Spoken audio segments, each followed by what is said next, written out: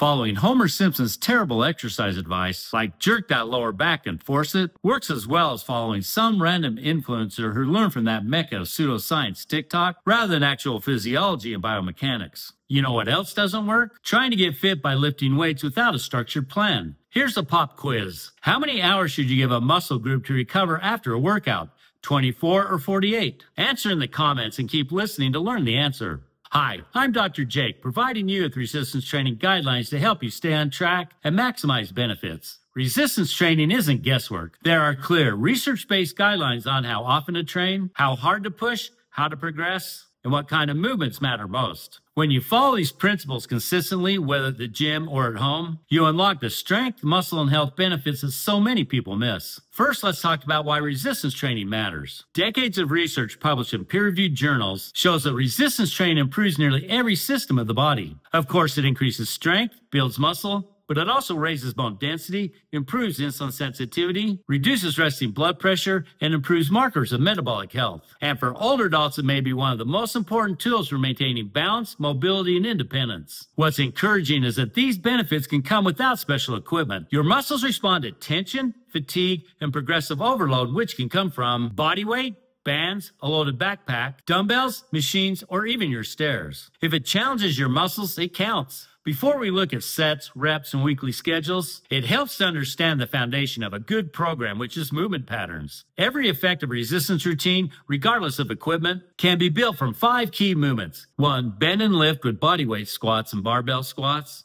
Two, single leg exercises like lunge and single leg squats. Three, push exercises like push ups, chest press, and shoulder press. Four, pulls like rows, pull ups, and band pulls and five, rotational, anti-rotational, with Russian twists, bicycle kicks, planks, and bird dogs, for example. Every effective program, whether at home or in the gym, comes from these five. And you can add others like hinge movements and split stance if you like. And if you don't know what all those are, don't worry. Check out my PDF document in the comments, or you can just look them up. If your routine hits all five movement patterns two to three times per week, you're locked into the proven functional structure for building muscular strength, power, and endurance. Okay, now let's get into some of the specifics. First, frequency. It's recommended to train each major muscle group two to three times per week. Full body routines performed three days a week work great for beginners and busy adults. Next, intensity, which is where many people struggle. Instead of guessing, you can use reps in reserve. A simple guideline that suggests most of your sets should end with only one to three repetitions left before failure. This corresponds to an effort level where the last few reps feel challenging but still controlled. You can also use rating of perceived exertion, aiming for sets that feel like a 7 to 9 out of 10 in effort. And the 2 for 2 rule offers a simple progression strategy. If you can perform two more repetitions than planned for two consecutive workouts, it's time to increase the resistance, whether that means more weight, a harder variation, or a slower tempo. Next, volume or the total number of sets is equally important. Most adults see excellent results with two to four sets per exercise. And beginners can start with a single set and still see meaningful gains. Lastly, rest periods, which depends on your goals, but most adults benefit the most from two to three minutes between heavy sets and one to two minutes between moderate sets. Even if you're training at home with body weight, resist the urge to rush. Because if you're training close to failure, your muscles still need time to recover between efforts. To summarize, train each major muscle group two to three times per week, or full body sessions three times a week works for most adults. And remember, consistency, not complexity, is key.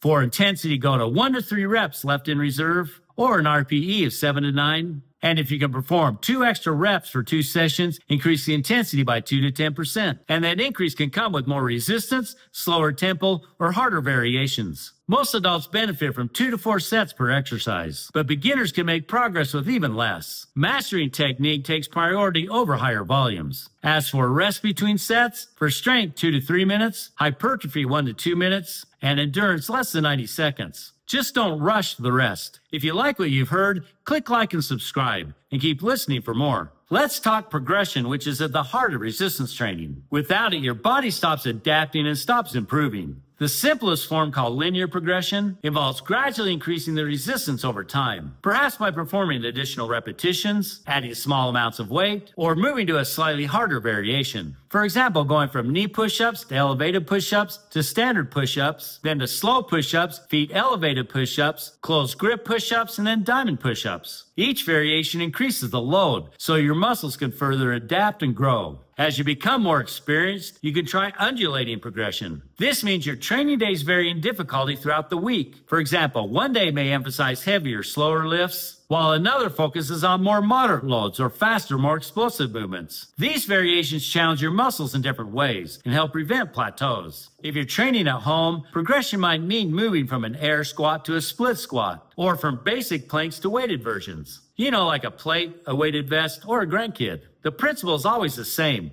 When something becomes easy, make it harder. Here's a summary of the common options. Linear progression. At small increases week to week, a 2 to 5% greater load, or a harder variation. This option is perfect for beginners. 2. Undulating progression. Change loads or reps throughout the week, which could include a heavy day, moderate day, light or speed day. This is excellent for intermediates. And 3. Practical home progression. I already mentioned the progression with push-ups, but you can do the same with squats, rows, or just about anything. Basically, if the movement gets easier, make it more challenging. You might be wondering, well, what can I expect and how soon? Understanding what to expect can help keep people motivated. During the first few weeks, most of the strength improvements come from the nervous system. Your brain becomes better at recruiting more muscle fibers, coordinating movements, and reducing unnecessary tension. Strength quickly increases in this phase, even before visible changes to the muscle. It's after about three to six weeks when hypertrophy or an increase in muscle size begins. Muscle fibers start to grow, connective tissue becomes stronger, and tendons begin to adapt to repeated loading. By 6 to 12 weeks, many people notice visible changes to muscle size, firmer muscles, improved posture, and easier performance of everyday tasks. Over the months that follow, the deeper adaptations occur. Bone density begins to rise, especially in the spine and hips. Tendons stiffen and become more resilient, which means fewer injuries. Metabolic health improves with better blood sugar control and less visceral fat, even if body weight stays the same. And these benefits continue as long as you train consistently and progressively. Here's a visual of what you can expect, also included in the PDF file in the comments. Weeks 1 to 3, neural adaptations, better motor unit recruitment, faster nerve firing, 10 to 30% strength gains before muscle hypertrophy. Weeks 3 to 6, early hypertrophy and tendon adaptations. Week 6 to 12, visible muscle changes, stronger bones and connective tissue,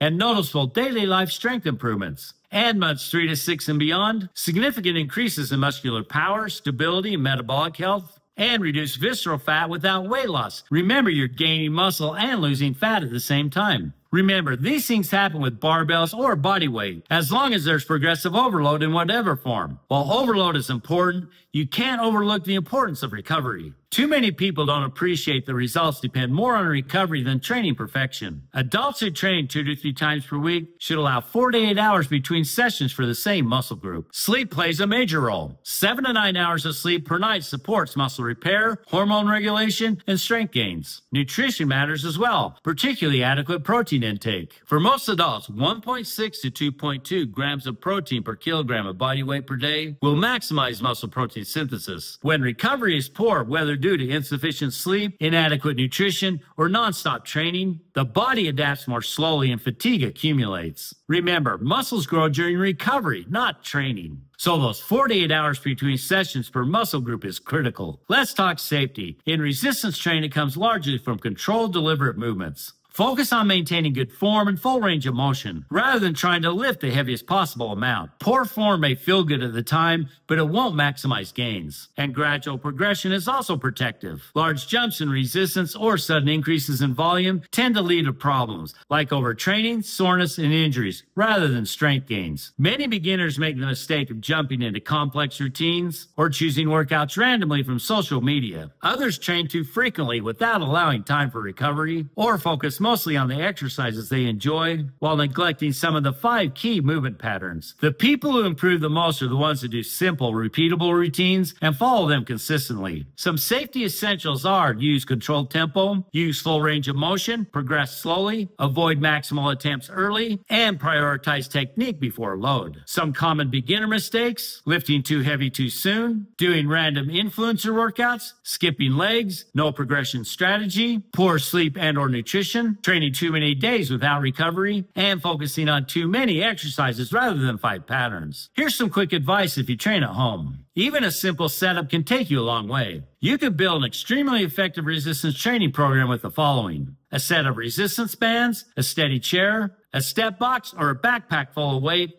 are enough to create hundreds of variations. These tools allow you to load all five movement patterns in ways that challenge your muscles just as effectively as many pieces of gym equipment. The good news is you can get effective resistance training tools for under $50. There's one last thing worth noting. One of the limitations of these guidelines is that most of the research was done on male participants. A 2023 study found that about 70% of the data informing the guidelines for resistance training comes from male populations. As a result, important sex specific considerations such as hormonal fluctuations, fatigue patterns, tendon properties, and the effects of perimenopause and menopause are not fully integrated into the guidelines. The existing recommendations still work pretty well for women, but they highlight the need of more inclusive research moving forward. But it's safe to say, based on the science based guidelines we have today, no matter where you train, in your living room, a commercial gym, the great outdoors, the principles of resistance training are the same and well founded. Train the five major movement patterns, challenge yourself with meaningful effort, progress gradually, recover well, and stay consistent. Do that week after week, and your body will reward you with greater strength, stability, and long term health. Watch for my next video on resistance training and performance. Like, subscribe, and keep on lifting not just weights, but fact based evidence. Thanks for watching. And as always, my answers come from peer reviewed research.